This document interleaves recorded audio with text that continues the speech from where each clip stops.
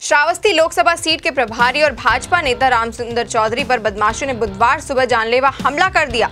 उनकी गाड़ी पर कई राउंड फायरिंग की गई, जिसमें भाजपा नेता के पीठ में गोली लगी है। उन्होंने भागकर अपनी जान बचाई। लोगों के दौड़ने पर बदमाश मौके से फरार हो गए। घायल नेता को जिला अस्पताल में भर्ती करवाया गया है।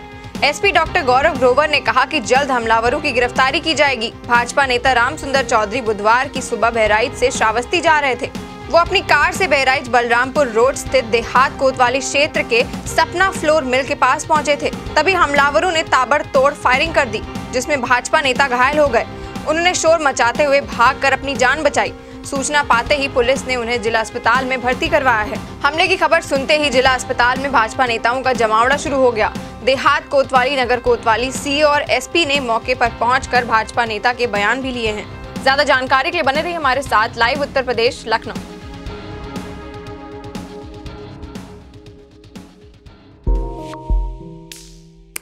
Música